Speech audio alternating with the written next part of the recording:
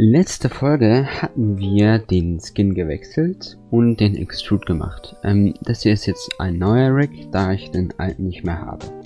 Es gibt generell zwei Möglichkeiten, Objekte zu importieren.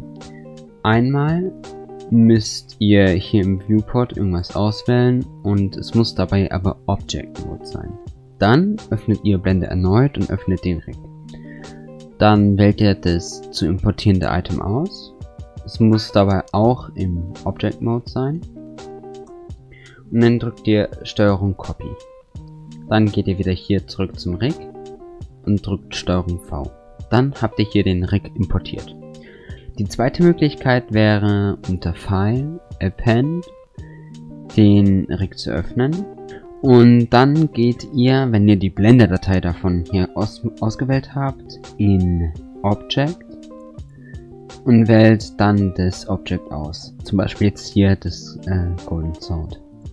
Dann habt ihr das hier auch importiert. So habt ihr nun Objekte importiert und jetzt zeige ich euch, wie man generell eine Pose macht. Dafür wählt ihr hier das Gerüst aus, sage ich mal, und geht in äh, Pose Mode. Nun könnt ihr auch verschiedene Sachen auswählen und so bewegen. Dabei kann es aber sein, dass es IK und FK Switche gibt. Oder generell IK und FK. Einmal gibt es hier, wo man nur an den Rotationsstellen die bewegen kann. Und es gibt einmal, wenn man hier auf den Stern drückt, N drückt, kann man zu IK wechseln und dann gibt es hier so, ein, so eine Sphäre.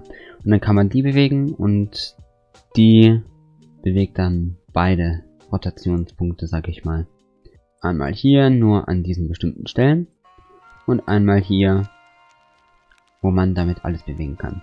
Bei diesem Rig ist es so, dass es auch bei den Beinen zwischen IK und FK geswitcht werden kann. Hier kann man Mund öffnen lassen bzw. generell einstellen und wenn man hier das nach oben drückt, kann man die erweiterten Gesichtseinstellungen aufrufen, wo man nochmal genauer alles bearbeiten kann. Hier rechts gibt es auch ein paar Einstellungen, die müsst ihr dann einfach mal ausprobieren. Hier links zum Beispiel Dicke der Augenbrauen. Natürlich kann man hier auch noch viel mehr bewegen. Zum Beispiel hier die Hüften oder hier oben nochmal die Arme weiter. Der Oberkörper kann dabei hier auch bewegt werden. Wenn man einmal R drückt, kann man auf eine Achse das bewegen. Wenn man zweimal R drückt, kann man hier so generell so viel bewegen. Am Fuß hier kann man sogar mit G das hier so bewegen.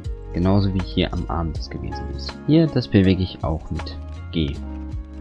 Da muss man halt einfach mal vieles ausprobieren. Finger kann man natürlich bei dem Rig auch aktivieren. Da geht man hier auf das Sternchen und aktiviert Finger. Da kann man dann hier auch die Finger öffnen und schließen und nochmal hier generell so Finger bewegen. Hier gibt es auch mal Einstellungsmöglichkeiten für den Arm. Da kann man hier noch einstellen, wie der gedreht ist. Das gleiche gibt es hier vorne, auch bei den Beinen. Musst du nicht hier das hier so drehen.